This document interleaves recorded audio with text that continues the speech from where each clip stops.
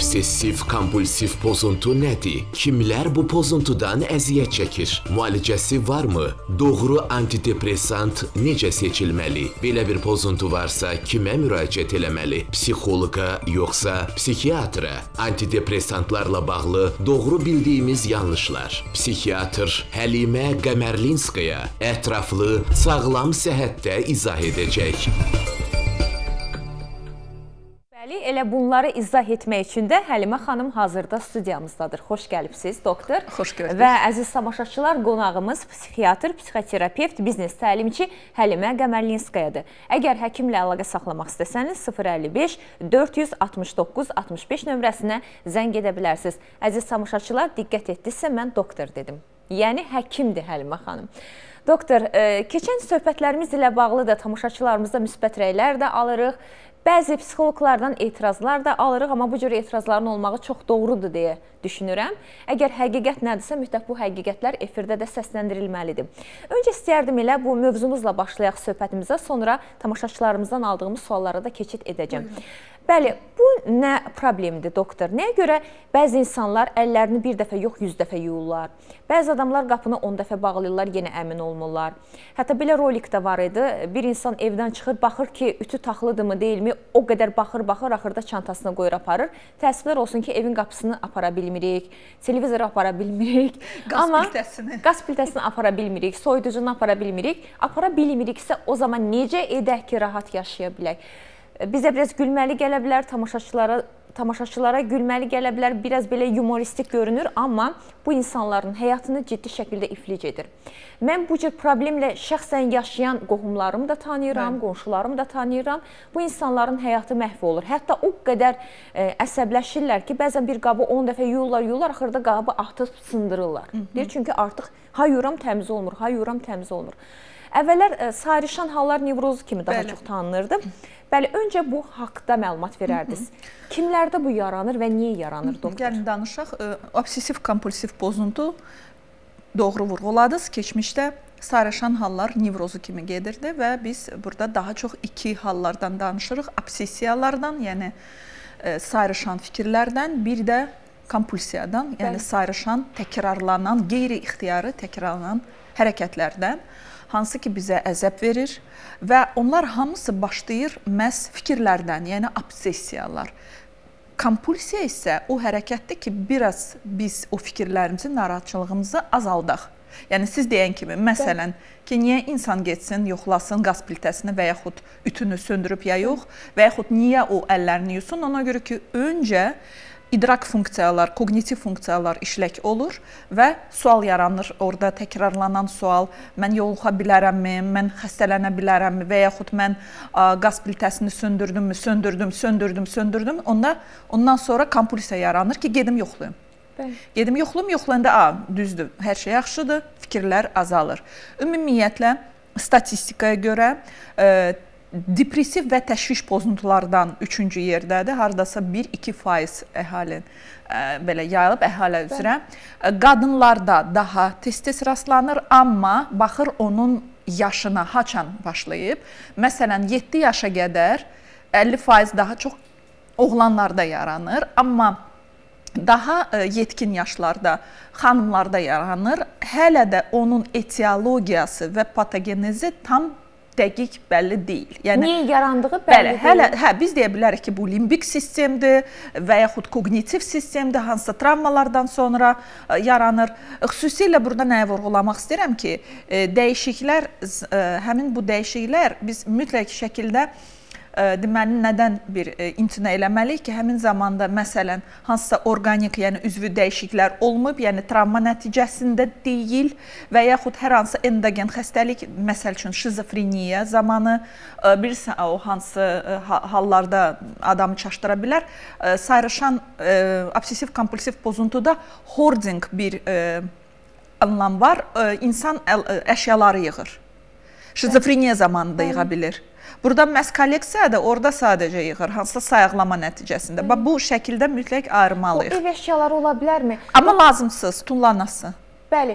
Yığır-yığır və siz deyəndə ki, məsələn, gəl bu zibil kolleksiyanı Bəli. tullayaq, azad olunaq, ona çox böyük sarsıntı verir, e, çox emosional ə, e, yanaşır, qəzəblənir, vermək istəmir və obsessiv kompulsiv pozuntulara bir neçə bir şey daxildir obsessiv kompulsiv pozuntu özü ipoxondrik pozuntu, yəni insan daimi və daimi özündə xəstəlikləri axtarır. O nədən qaynaqlanır?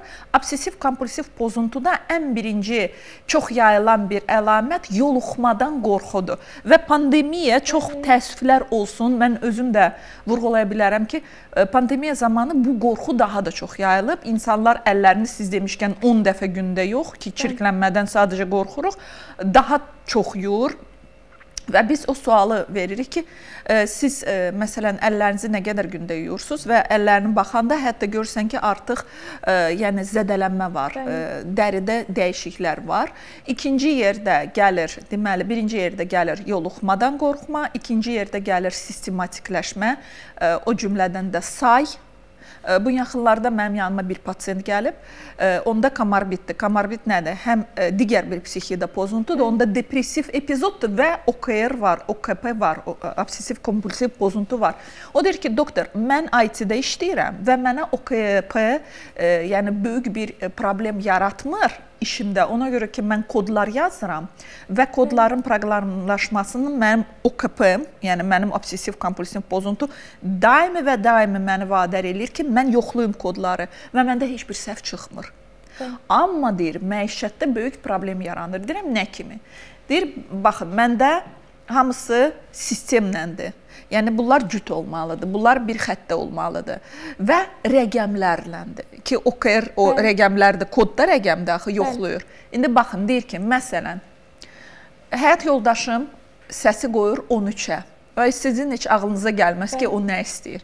Deyir ki, mən isə yoxlayıram ki, bütün rəqəmlər o cümlədən də səs qoyuruqsa 5-ə bölünməlidir. 5-ə bölünməsə yaxınlarımdan nəsə ola bilər. Deməli bunun birinci fikri nədir? Yaxınlarıma nəsə ola bilər. Bu bunu rituala çevirib, yəni əgər mən hətta səs tonunu, televizorun səs tonu 5-ə bölsəm, ritualdır bu və Bəli. orada bir rəqəm alınırsa, mən kömək etmiş kimi olum. Deyir, deyirəm edirsiz o cümlə, o zaman deyir ki, mən həmin zaman o səsini 13-dən qaldırıram 15-ə görmədən ki 15 5-ə bölünür və deyir bir balaca rahatlaşıram. Amma sonra təbii ki, mən mütləq hər kəsin arxayınca gəzirəm. Məsələn, əgər hansısa sirtmələr düzgün bağlanmayıb, bağlayıram e, stəkanlar düz durmursa və yaxud dəsmallar düz asılmırsa xətlə sistema olmalıdır, sistem olmalıdır. Bax bunda budur. Doktor, bizim anonsumuz dünən yayılandan sonra bir çox tamaşaçıdan sual aldıq. Bir xanım qeyd etmişdi, söz verdim adınızı efirdə çəkməyəcəm. Dedi, mən simmetriya xəstəsiyəm, buna nəziyyət çəkirəm. Avtobusla yol gedirəm, binalara baxıram, hamısı eyni boyda olsun. Və eyni boyda olmayanda, eyni hündürlükdə əsəbləşirəm, yol boyu gözümü yumuram. Bəli. Deyirəm, niyə belə edirsiniz? Deyir, o da eyni şeydir. Elə bilirəm ki, zəlzələ baş verəcək. Elə bilirəm ki, kimsə dünyasını dəyişəcək. Elə bilirəm avtobus qəza keçirəcək. Fikirlər. Bəli. Bəli. Bax bu OKR. Bu necə çətin bir həyat tərzidir, doktor? Və çox çətin diaqnozdur. Vot mən bir psixiatr olaraq artıq Bəli. 20 ildən çox işləyirəm psixiatr kimi. Mən sizə deyim, istəmirəm pessimistik səslənsin. Amma OKR daha mürəkkəb, daha çətin mənim üçün və dünyada psixiatrların çoxları üçün pozuntudur. Məsələn, nəinki hansısa endogen xəstəlik və yaxud nəinki depressiv pozuntu, təşviş pozuntu. Ona görə ki, yenə deyirəm, Burada bilirsiniz necə fikirlər yaranır öncə insanın sağlam beyində. Bəli. Sadəcə sonra bu gəlir çıxır təşvişin yaranmasına. Təşvişi ə, e, azaltmaq üçün biz hərəkət eləyirik. Hərəkət cəmi müvəqqəti o təşvişi götürür. Ondan sonra yenə bu fikir yaranır, obsessiya və bu bir Bəli. dairəyə keçir. Obsessiya, kompulsiya, obsessiya, kompulsiya. Məsələn, mənim yanıma bir xanım gəlirdi pandemiya zamanı, vəziyyəti lap pisləşmişdi. Xanım ümumiyyətlə heç bir heç bir yerə nə e, taksidə, nə avtobusda, nə liftdə heç nəyə dəymək istəmirdi. Salırdı belə öz sviterini belə qolunu aşağısına, sviterlə vururdu. Sonra evə gəlib hamısını soyunub salırdı ə, e, paltar yuyan maşına bəzi şeyləri tulluyurdu. To есть valideynləri nəyə görə gətirib bunu? Bu artıq bu fikirləri ki, bu kompulsiyaya keçib, Bəli. hərəkətlərinə keçib. Bu hərəkətlər məişətdə ətrafdakılara problemlər yaradır. Doktor, elə bununla bağlı da bir tamaşaçımız e, bizə yazmışdı ki, bizim evimizə artıq qonaq gəlmir. Bir Qoymur. qadın yazmışdı ki, ən yaxın qo e, qohumlarım gələndə də ayrıca mütləq e, bayırdan gələndə evə girəndə paltarlarını dəyişməlidirlər Evdə mənim atam üçün, anam üçün, qardaşım üçün paltarları var. O paltarları geyinirlər, sonra bizdə otururlar. Və onlar çıxıb gedəndən sonra mütləq o paltarları yuyuram. Yəni bayırdan gəlmiş paltarla, şalvarla, ətəklə heç kəs mənim evimdə divanda otura bilməz. Yoxsa başlayıram hamısını təmizləməyə. Bəli. Bu da eyni problemdir. Eyni OKR-dir. Mənim də belə bir pasiyentim var rayondandır. E, deməli deyir ki, bütün mağazalara, hətta böyük şəbəkə mağazalara məni tanıyır. Ona görə ki, Pingvin paketləri var ha. Deyir ən çox alan mən, bir də ən çox o məişət texnik e, kimyəvi e, şey e, maddələri alan mənəm. O da məsələn hər bir şeyi toxunaraq pingvin əlinə keçirdir. Evə yoldaşı, oğlu gələndə o icazə vermir keçmək içəri. Pingvinlə ayaqqabılarını götürür, aparır. Təsəvvürün ki, Nə qədər bu belə deyək maddi Necə ziyandır. Naskilərini tullayır həmən zibilliyə ki, o pingvinlə, pingvinlə götürdü birini tulladı, o birisini götürdü, tulladı. Və bütün bahalı kostyum olsa, ucuz kostyum olsa, nə olar olsa həmən getməlidir paltar yuyan maşına, yoxsa nəsə baş verər və biz hamımız yoluxalıq. Və bu problem məhz zehni problemdir. Biz burada ikili problemdir. Biz yəni e, baş baş verən prosesləri niyə bu baş verib beynində? Nə nədir onu vadar edən? Onu kontrolda saxlamalıq. Bir də bu davranışına keçəndə, yəni kompulsiyalara keçəndə biz Bəli. onu da müalicə eləyirik. Amma daha da tez-tez rastlaşan, hətta mənim tanışlarımda bu digər bir kompulsiv dəyişikliklərdir hansı ki, o da OKP-yə daxildir. Bu saçını, e, kipriyini, Bəli. qaşını yəni dartmaqdır. Üzündə olan o prişik deyirik, Bəli. onları qopartmaqdır. Yəni bu kimi problemlər var. Onlar da OKP-yə daxildir. Yəni fikirlər, daxildə olan Bəli. təşviş, insan qeyri-ixtiyari onlara çox əzab verir. Yəni onlar bunu istəkdən eləmir. Deməli biz tez-tez bunu vurğulayırıq psixiatriya reyestrına daxildir bir. Bəli. 10-cu baxış, yəni beynəlxalq xəstəliklərin təsnifatında 10-cu baxış ayrı meyar verirdi. Deyirdi ki, əgər bu hərəkətlər 2 həftədən az olmamış təkrarlanırsa, Bəli. biz OKP deyirik. 11-ci baxış hansı ki, hələ tam qüvvəyə minməyib, amma Bəli. keçir, deyir ki, bir meyardır cəmi.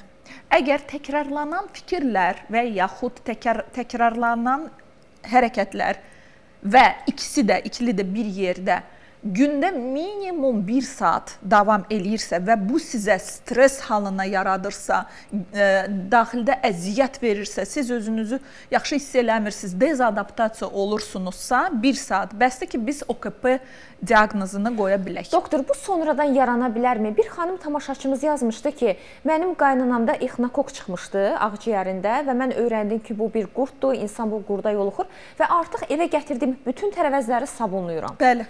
Kartofu sabunluyuram, soğanı sabunluyuram. Mən bilirəm ki, belə olmaz, amma adi sula yuyuram. Mənə elə gəlir üçün üstündə qurd qalıb. Bir də yuyuram, bir də yuyuram. Axırda sabunlayandan sonra ürəyim rahat olur ki, qurd qalmadı üstündə.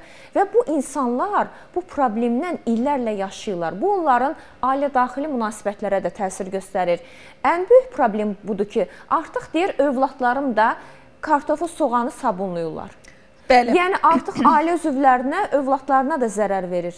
Elədir. Pro problem nədən qaynaqlanır? Yenə deyirəm, bu burada etiologiya tam bəlli deyil. Bir, e, nəsildə də keçə bilər. E, çox vaxtı kimdəsə nəsildə olur OKP ki, övladlara da keçir.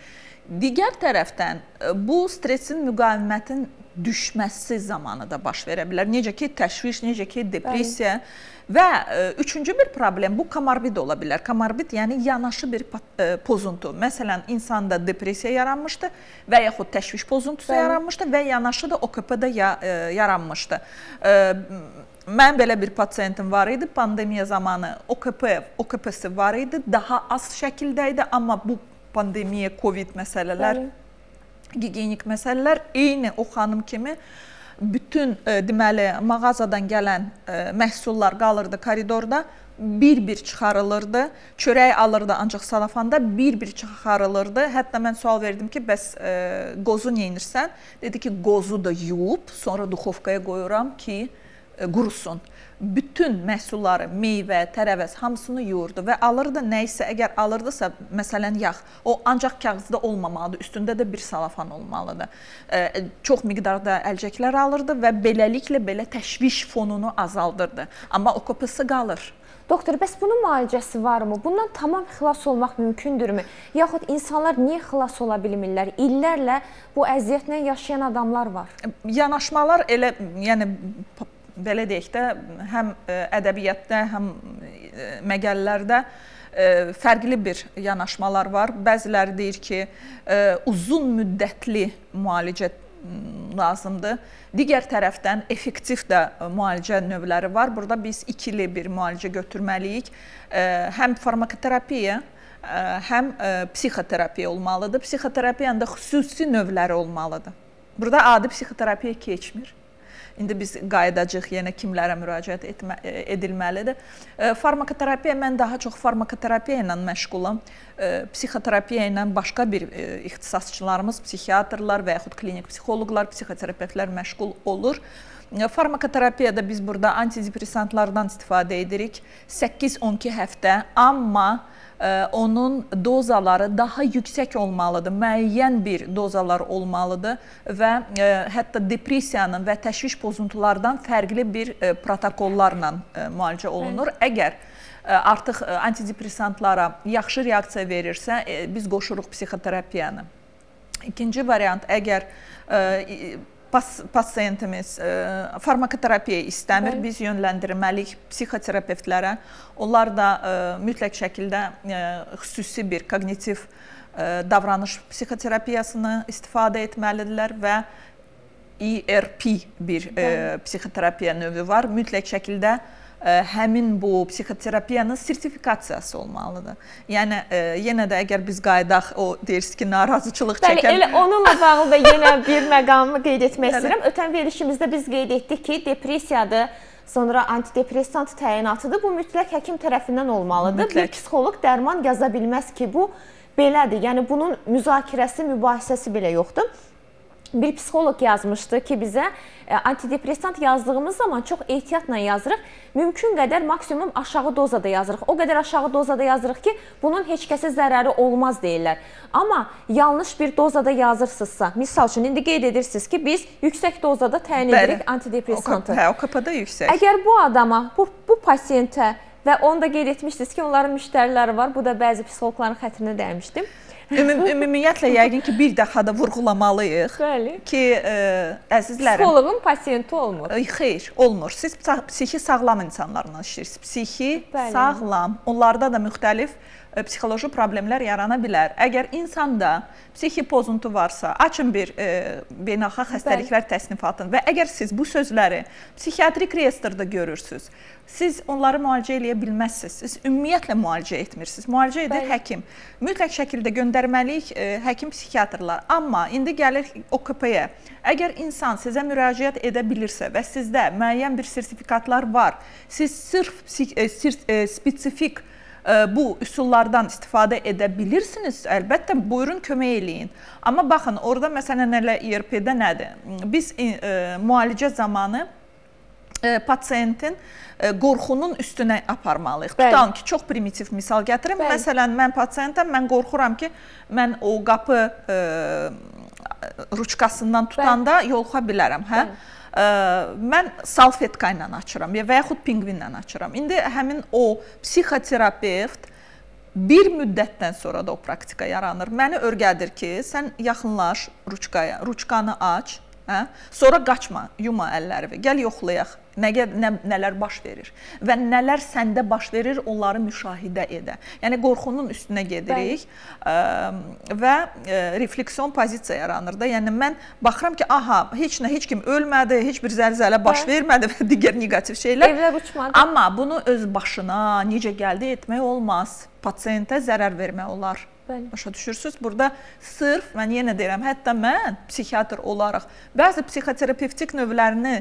keçməmişəm sertifikasiyanın da, da keçməmişəm deyə mən onlara getmirəm. Mən farmakoterapiya eləyirəm. Hal-hazırda da məndə belə bir pasiyent var, OKP ilə deyil. Ə, böyük bir stres ə, problemi yaşanıb, ə, sevgi ə, belə deyək də qarşı tərəf sevgi olmayıb. Bu insanda bu dəqiqə 17 yaşında cavan oğlan da böyük bir sarsıntıdır. Mən onu farmakoterapiya eləyirəm və əlavə olaraq yönəltdim psixoterapevtə. Psixoterapevtə yönəltdim ki, o kömək etsin. Biz 2 2 ixtisasçı bu dəqiqə onun üzərində çalışırıq ki, məsuliyyət də budur. Bəli, Doktor intihar fikirləri yaranıb. Əgər o məni istəmir, mən həyatımdan azad olmaq istəyirəm. Başa düşürsüz? Bu Bəli. kifayət qədər çətindir. İndi hər hansı bir psixoloq bu intihar məqamı tutmasa və onu psixiatra göndərməsə, bu problem yarana bilər. Nə qədər ağır nəticəsi Bəli. ola bilər ki, olur da. Və ona da gəlin xüsusən də toxunaq doktor. Yəni əgər bir xəstədə yüksək doza antidepressant yazılmalıdırsa, bir psixoloqa müraciət edir, psixoloq ehtiyat edib, özünü sığortalayıb, zəif antidepressant təyin edirsə, heç bir effekti olmayacaqdı, deyilmi? Ümumiyyətlə yenə mən qayıdıram. Yəni e, psixoloqlar dərman yaza bilməz. Xüsusilə psixotrop dərmanlar. Nə yüksək doza, nə zəif doza. 2. Ümumiyyətlə mən antidepressantlardan biraz Bəli, istərdim danışım. Buyurun. Antidepressantlar ə, bugünkü gündə elə bil sanki bir trendə çevrilib. Digər tərəfdən də belə bir mif yaranıb, yəni əfsanə yaranıb ki, antidepressantlara ə, asıllıq yaranır. Bəli. İçsən ömrün axırına qədər bəli, hə, bəli. İstəyirəm belə yavaş-yavaş sizin sualınıza verim. İlkin olaraq antidepressantlar bir neçə qrupa bölünür və onları ancaq psixiatrlar bilir və təyin edir. Həmin pasiyentə pozuntu olan pasiyentə. Keçən həftə biz bununla depressiya ilə bağlı danışırdıq. Mən yenə sual verirəm. Siz bilirsiniz bu depressiya kliniki əlamət kimi hansı pozuntu çərçivəsindədir? Bu rekurrent depressiyadır, bu bipolar pozuntudur, bu bəlkə presenil depressiyadır, yəni yaşlı insanda depressiyadır. Bu kəskin stres reaksiya zamanı depressiyadır, posttravmatik depressiyadır bu. Hansı depressiyadır bu? Və bunların hamısını fərqli-fərqli antidepressantlar təyin olunur. Amma bipolar pozuntu zamanı depressiv epizodda biz ümumiyyətlə təyin edə bilmərik antidepressant. Baxmayaraq ki, depressiyadır. Bəli. Olmaz, qadağadır. Yəni e, bu böyük bir təhlükədir ki, mən depressiya görürəm, antidepressant təyin edirəm. Hansı antidepressant? Nəyin əsasında? Nə, nə verəcək? Hansı sənə nəticə verəcək? Yəni buna mütləq ancaq psixiatr cavabı deyildi. Bu bir. 2. Tez-tez mənə də mən sizə skrin göndərdim Bəli. ki, xanım yazır ki, çox sağ doktor, ə, depressiyadan çıxır, həyata Bəli. çıxır və s. motivasiya artıb. Mənim sualım yaranır ki, biz bəs demisiniz ki, ən azı biz 3-4 ay qəbul eləmək bu asıllıq yaradarmı? Mən bu suallardan yorulmadan cavab verəm. Əzizlərim, baxın. Ancaq və ancaq həz, həz hissi gətirən preparatlar asıllıq yarada bilər. O cümlədən biz e, məsələn diazepamı nəzərdə tuta bilərik, e, finazepamı nəzərdə tuta bilərik, pregabalin nəzərdə tuta bilərik və digərləri. Hansı ki, onsuz da adi bir e, belə ə, görüş zamanı təyin olunmur. Xüsusi 3-cü peçatla təyin olunur. Onlar ə, yəni xüsusi qeydiyyatdadır. Bəli. Yəni antidepressant o qrupa daxil deyil deyə demək ki, antidepressantlar həzz hissi yaratmır. Kim düşünür ki, mən antidepressant qəbul eləyəcəm və mənim əhval-ruhiyyəm belə keyfli olacaq, o yanlış yanlışmadır. Ona görə də bir dəfəlik yadda saxlayın ki, antidepressantlar asıllıq yaratmır. İndi sual yarana bilər, yəni bilməyən məsələləri suallar yarana bilər. Onda niyə məsələn 6 ayda doktor dedi mənə təyinat verdi, 6 ay mən qəbul elədim, 6 aydan bitəndən sonra antidepressantı bitdi, amma mənim əlamətlərim qayıdıb. O demək deyil ki, asılılıqdır. O deməkdir ki, vəziyyətdən çıxmamısınız bu həmin antidepressantla biz davam eləyə bilərik 2 ilə qədər və yaxud əgər antidepressant sizə düşmür, əslində biz düşməməsini uşaq 1-1 aydan sonra başa düşürük, dəyişilməlidir. Bu demək deyil ki, asıllıq bu Bu demək ki, Bilirsiniz, rekurrent depressiyadır, yəni xroniki vəziyyətdir. Deyir ki, antidepressantı qəbul edir, həkimsiz özü kəsir, deyir, yaxşıyam kəsir. E, olmaz. Sonra pis olur, bir də içir, deyir, bu yəqin məndə asılıq yaradır. Kəsirəm, pis oluram, içirəm, yaxşı oluram. Bəli. Unudurlar ki, əslində müalicə müddətini tamamlamayıbsınız. Bir də ki, asıllıq sözü Bəli. yəqin tam başa düşmürlər də. Asıllıq odur ki, mən onu kəsəndə məndə fiziki abstinent sindrom yaranır. Bir də təkrarlayıram ki, O ancaq o psixotrop dərmanlarda yarada bilər ki, hansı ki həzz hissini artırır. Antidepressantlar həzz hissini artırmır. Bir dəfəlik yadımızda saxlayaq. Və bir də doktor bunun e, istərdim qeyd edək, altından da xətt çəkək ki, aptekdə satılan bütün antidepressantlar eyni deyil. Həkimimizin də qeyd etdiyi kimi, ola bilər ki, şikayətlər, əlamətlər bir-birinə oxşar olsun, amma bunlar fərqli səbəblərdən yarana bilər və hər bir səbəbə görə də ayrıca antidepressant təyin olunur. Nəyə görə? Bəzən gedirlər elə apteka, heç psixoloq yanına da getmirlər, psixiatr yanına getmirlər. Deyir özümü yaxşı hiss etmirəm, depressiyadayam. Mənə yaxşı bir antidepressant verərdin. O da birini götürür, verir. Halbuki bunlar fərqli-fərqli təyinata xidmət edirlər. Yəni Bəli. heç də hamısı elə hər şey üçün deyil. Bu dünya e, dünya miqyasında tanınmış bir misaldır, farmakoloji e, bir misaldır. E, mən çox hörmət etdiyim bir e, antidepressant var, Prozac. Çox gözəl antidepressantdır və s. amma Prozac stimulyasiya edici bir antidepressantdır. Və ə, hələ bir 15 il bundan qabaq Prozac ə, müəyyən bir şirkət buraxır. Onlarda problem yarandı. Niyə? Prozac-ı da O markadıdır, doktor. Prozac Prozac fluoksitindir onun əsl ə, belə deyək. Prozac targovu Bəli. Satışda olan. Ticarət adı olanda reklama girirdi, adətini çəkmir. Okay, fluoksetin molekuldur. Fərqli-fərqli, məsələn, ölkələr fərqli buraxır. Bəli. Prozac adında buraxanda bu stimulyasiya edici, stimulyasiya edici bir ə, molekuldur və onun təyinatında əgər insanlarda depressiya nəticəsində intihar fikirləri var idisə, onlar gedib intihar eləyiblər.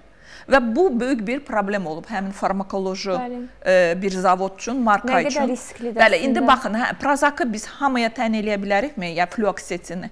Biz həmin dərmanı, həmin molekulu ancaq apatik depressiyada, yəni insan heç nə etmək istəmir, evdən çıxmaq istəmir, ə, tə, həmişə ancaq bu məsələn ə, öz motivasiyan düşdüyü halda yemək çox yeyir, heç nə ə, onu təhrik etmir. Bax o zaman Yoxsa məndə depressiyadır, mənə həmən o Prozac-ı yazmaq böyük bir riskdir. Yəni e, yenə təkrarlayıram, bizdə e, stimulyasiya edici antidepressantlar var sakitləşdirici və yuxu komponentlə olan, yəni tormozlaşdıran antidepressantlar var və biz e, balansdırıcı deyirik. Yəni e, əhval-ruhiyyəmizi tam normada saxlayır. Bunlar 3 qrup fərqli-fərqli pozuntularda təyin olunur. İstisna bipolar pozuntu zamanı depressiyada antidepressant ümumiyyətlə təyin olunmur. Bir də doktor, belə hallarda olur. Ailənin bir üzvü gedir həkimə, həkim ona antidepressant yazır. Sonra ailənin bütün üzvləri içir onu. Maraqlıdır. Kişi və qadın arasında da antidepressant fərqi ola bilərmi? Yəni qadına ə, yazılan antidepressantı elə kişilər də içə bilərmi? Ə, orada gender ə, fərqliyi yoxdur. Sırf ə, yenə deyirəm, depressiyanın və yaxud təşviş əlamətlərinin və yaxud baxın, biz OKP-dən danışırıq. OKP-də də protokolla birinci təyin olunan farmakoterapiya birinci liniya, birinci xətt antidepressantdır. Əgər yox, biz fikir veririk ki, yaxşı cavab vermir antidepressantlara, onda ikinci liniyaya keçirik, ikinci xəttə keçirik, neyroleptik hətta təyin edirik. Niyə? Ona görə ki, OKP koqnitivdir, yəni təfəkkür sistemi pozulub ki, bax təfəkkür sistemi pozulanda antidepressant necə kömək eləsin? Antidepressant sırf bizim bəzi hormonların ifrazını artırır. Serotonin, e, noradrenalin, dopamin bunların e, ifrazını artırır. E, yəni qanda olan miqdarını artırır. O, o təfəkkür sistemi necə təsir eləsin? Amma biz deyirik ki, əgər təfəkkür e, o emosional sferası düzəlir və mənim qorxularım azalır, mən özüm axı e, bu fikirlər mən yaradıram. Bəli. Yəni sayıqlama ideyalar deyil, onlardan fərqlənir. Mən yaradıram, sadəcə onlarla bacara bilmirəm. Mənim təşvişim azaldı. Mən o fikirlərə idarə eləyirəm deyə deməli mən antidepressantlara yaxşı cavab, pozitiv cavab verdim. Bəli. Yox, heç nə dəyişilmədi. Hətta neyroleptiklər təyin eləyirlər. Kim onları təyin eləməlidir? Ancaq psixiatrlar. Bəli. İndi o sizin sualınıza cavab elə bir e, yanaşma yoxdur. E, biz həmişə spesifikaya görə deməli bölürük. E, amma elə bir e, antidepressantlar var ki, hansı ki məsələn e, uşaqlara olar 12 yaşa qədər 6 yaşdan məhz indi siz demişkən burada bir reklam kimi olmasın. O təyin eləmə olar, amma bəziləri biz 16 yaşdan sonra təyin eləyirik. 18 yaşdan sonra təyinatı var. Hamilə qadınlara olmaz və yaxud hansı yaşdan sonra təyin etmək olmaz. Böyük belə deyək yanaşma ilə, təhlükə ilə biz onları yaşlı adamlara təyin eləyə bilərik. Yəni o qədər çoxdur antidepressant. Bəli. Elə bir antidepressantlar var, məsələn, xanımlarda məsəl üçün xanımlarda seksual meyillik artırır. Depressiyada seksual meyillik azalır. Eyni zamanda da yuxu verir. Hə? Biz indi baxmalıyıq ki, burada kimə əsas təyin bəli, kimə təyin eləyək, bəli. haçan təyin eləyək, sutkanın hansı zamanında təyin eləyək. Bəli. Elə dərmanlar var, ə, əksinə ə, məsələn, onun fəsadı indi xoşlarına gələrək xanımların çəkini azaldır. Onu fəsadı elədi. Antidepressantın fəsadı odur ki, çəki itirilir. Hə? İndi yaxşı, əgər xanım gəlib və onsuz da iştahsı yoxdur, onsuz da bu Bəli. depressiya zamanı 5% çəkidən azalıb, mən yenə o antidepressantı təyin etməliyəmmi ona? Yəni burada o qədər mürəkkəbdir yanaşma, o qədər kompleksli olmalıdır Bəli. ki, bu antidepressantı gəl mən onu təyin eləyim. Qeyri-professionallıqdır bu. Ümumiyyətlə bizə də yazırlar. Bizə yaxşı bir antidepressant tövsiyə edin. Yaxud yenə dünən bir xanım tamaşaçı yazıb ki, doktor efirə gələndə bizə yaxşı bir antidepressant desin. Bu yaxşı antidepressant nə məsələdir, doktor? Elə ən yaxşı depressant düzgün təyinatı olan depressant əslində deyil. Bəli. Yəni elə bir marka yoxdur ki, əziz tamaşaçılar. Həlimə xanım bir yaxşı bir Pis, antidepressant desin. bəli, bəli. Pis antidepressantlar yoxdur, əziz Bəli. tamaşaçılarımız. Düzgün təyinat olunmuş antidepressantlar var və ben yenə də mən sizə E, nəyə çağırıram? Antidepressantlardan qorxmayın. Qorxmayın, çəkinməyin. Əgər sizin e, bu dəqiqə orqanizm çöküb və o düzgün e, hormonlar ifraz olunmur və bu sizin həyatınıza böyük bir e, problemlər gətirir. Niyə siz narahatsınız ki, "A, mənə antidepressant təyin eləyib həkim?" olsun. Və e, yenə də qayıtmaq istəyirəm siz e, verilişin əvvəlində qayıtmısınız psixoloqa. Baxın, Bəli. heç bir şəkildə e, psixoloqların, o cümlədən kliniki psixoloqların biz əziyyətini, rolunu azaltmaq istəmirik Bəli. heç bir şəkildə. Əksinə, bizim cəmiyyətə e, yüksək e, belə deyək, maarifləndirici e, rollar aparan psixoloqlar mütləq lazımdır. Onlar hansı problemləri bugünkü gündə baxında e, insanların tərbiyəsi, övladlarla münasibət, e, toksik münasibətlər, e, bunlar böyük hələ deyə də bilərəm. Yəni keçən dəfə dedim, Bəli. okean problemdir, okean. Problem çoxdur. Bəli. Siz onlarla işləməlisiniz. Amma əgər siz sizə müraciət olan şəxsdə psixi pozuntuları belə sual yaranıbsa, ən azı bir dəfə bu sizin yüksək professionallığınızı göstərəcək. Mütləq şəkildə göndərin psixiatra, psixiatr baxsın, baxışdan keçirtsin.